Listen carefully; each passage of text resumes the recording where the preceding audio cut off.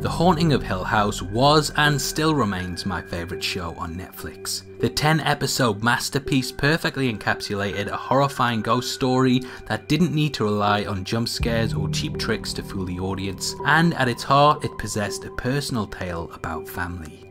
To me, the first season felt perfect to the point that I wasn't even sure if it needed a second one, but for better or worse, Netflix have announced that there will indeed be a follow up in 2020 called The Haunting of Bly Manor.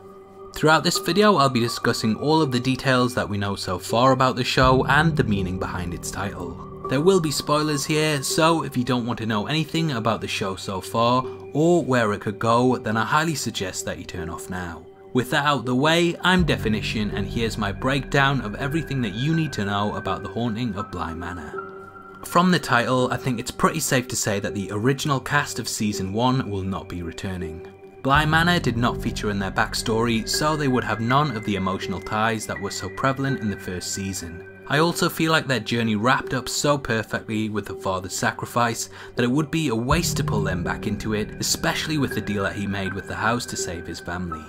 Instead, the show will likely follow a brand new cast of characters who may or may not already be aware of the family from the first season. But where does the name Bly Manor come from and what can we take from this?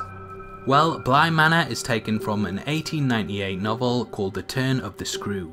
In that book, a governess and the two children that she cares for live in a country house and slowly uncover the more sinister side to it. If that sounds familiar, then you'll be pleased to know that the novel was reportedly the inspiration behind the Nicole Kidman film The Others. Similar to the first season, The Turn of the Screw deals heavily with mental health, and over the years, many fans and critics of the novel have debated over whether the ghosts in the story actually exist or if they are merely figments of the governess's imagination. So, when will it be set? Well, personally, I believe that though the novel is set in the past, the Netflix adaptation will take place in modern day to avoid comparisons to the others and to stick more in line with the original season. The Haunting of Bly Manor is set to be released in 2020, so stay tuned to the channel for more updates as they come out. Obviously, I'd love to hear your thoughts on the news of the second season and if you're excited to see it. If you enjoyed this video then please like it and make sure you check out my breakdown of everything we know so far about Russian Doll Season 2 which will be linked at the end. This is a channel for people who are heavy into horror so if that's the kind of thing you like, hit subscribe.